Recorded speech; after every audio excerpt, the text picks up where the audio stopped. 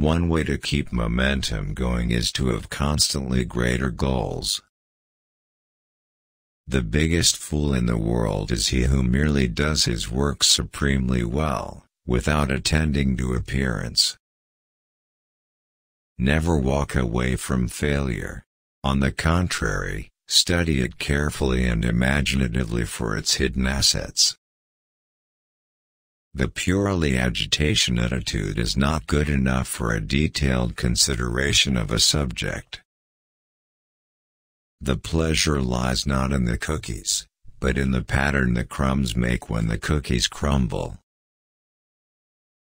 I did meet Senator Robert Kennedy, and it taught me something about political charisma. Success has always been easy to measure.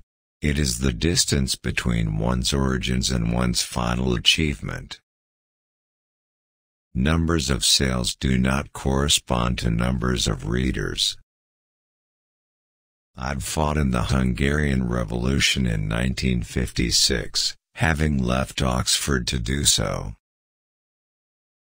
To succeed it is necessary to accept the world as it is and rise above it. The fastest way to succeed is to look as if you're playing by somebody else's rules, while quietly playing by your own. I find that non-fiction writers are the likeliest to turn out interesting novels. I always thought of myself as a kind of literary bureaucrat, and that was never going to be enough for me. I came into book publishing without any particular impulse to be in book publishing.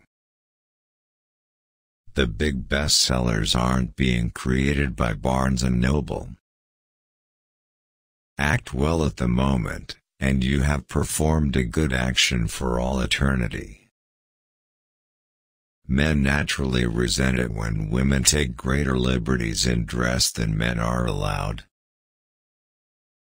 Curiosity is the best motive for writing, curiosity about the world at large, or about oneself. I don't give plots to Harold Robbins or Graham Greene, because they don't need them, but a lot of authors do.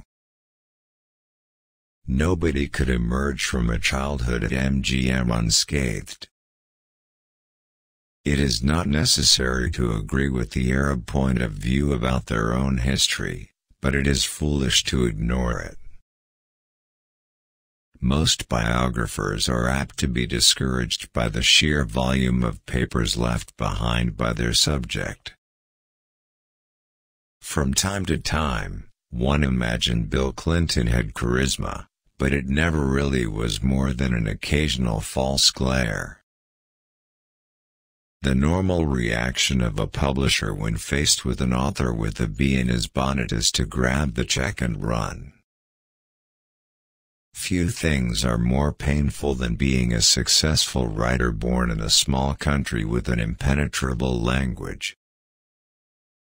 In Britain and Europe, no event is less forgotten than World War I, or the Great War, as it was called until 1939.